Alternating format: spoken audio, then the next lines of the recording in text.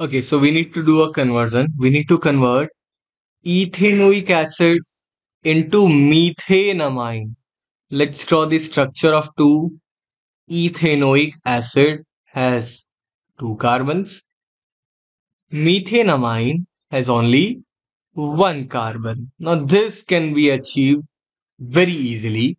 Just do one thing. Treat this compound with ammonia and heat slightly we will get CH3CO NH2. What is the name, name of this compound? It is ethane amide. This is amide.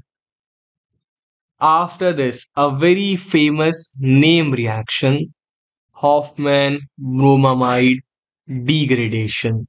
Br2 in presence of KOH or NaOH. This will be removed and we will get our product. This is how the conversion done with the help of a name reaction, Hofmann reaction or Hofmann bromamide degradation reaction. That's it.